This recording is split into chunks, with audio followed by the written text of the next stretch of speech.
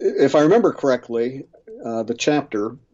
I got the book here. I, I, said it here. I never bothered to pick it up. Oh yeah, I, it was uh, the chapter called "Saying Yes to Sacramental Unity and No to Sacramental Disunity," and the reason I said sacramental disunity is is because uh, we have now this is especially true in the Orthodox Church and in the Catholic Church, but even the Orthodox are even more um, rigorous about this than the uh, than the Roman Catholic Church, and, and that's pretty rigorous too. That unless um, you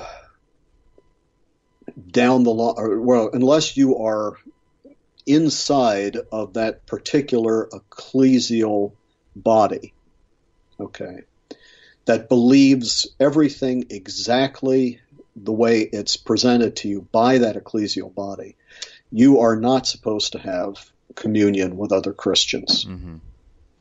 All right. Um, and this is even maintained between the Orthodox and the Catholics, who both mm-hmm. believe that each other's sacraments are valid. All right. Well, I, I, it, it, you know, this is where this is where I, I definitely um, bend the rules, uh, and I do it without any uh, without any apology whatsoever. Uh, this is not what Jesus instituted sacraments for. Mm-hmm.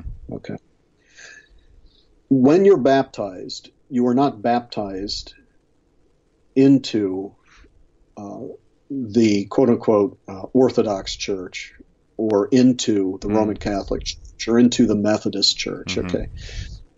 You are baptized into Christ, period. Okay.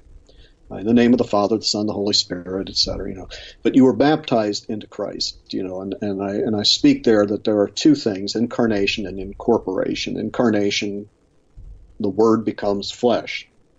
Incorporation, we become the body. Okay, mm-hmm. in in corpus uh, uh, Christi. You know, in in Christ's body, we're incorporated. Now, once we're inside that context, once we are part of Christ, uh, Paul is very realistic about this when he says we're, you know, this is, you remember the famous line in 1 Corinthians, um, is 11, 10, it's in chapter 10, I believe, where he says, you know, he who makes himself, um, joins himself to a prostitute becomes one body with her. Mm-hmm. And, and, and his rationale and his reason for that is you don't take a member of Christ's body and join it, you know, all of a sudden you realize when you're reading that particular text that for Paul, our physical bodies are Christ's body hmm. through mm-hmm. baptism. All right, that's how real it is for him. That's how that's how uh, that's how uh, corporeal it is for him. So here we are joined to Jesus Christ, and when we receive the body and blood of Christ sacramentally, uh, however, we want to interpret that, because again, this is this is a matter different churches approach this mystery in different ways. But basically, all Christians believe we are ratifying the covenant that we have with Christ in the sacrifice of His body and blood, which is now presented to us uh, under the forms of bread and wine in some way. And what we are doing is communing together as a body that I am one with you, you are one with me. We are all baptized into Christ. And my point was there, no matter how divided clergy are one from another, sometimes over the most ridiculous things.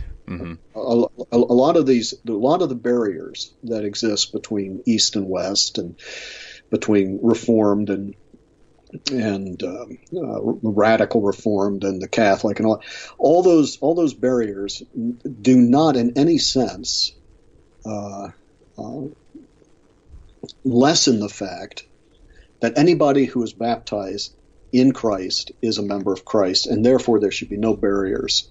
Uh, that the sign of the that the Eucharist, which is meant to be a sign of unity, now becomes a sign of disunity because if I can't receive, say, you and I can't receive side by side, okay, if, if we're not permitted to what is the source of the disunity? The source of the disunity, it isn't just simply we might believe this or that detail differently.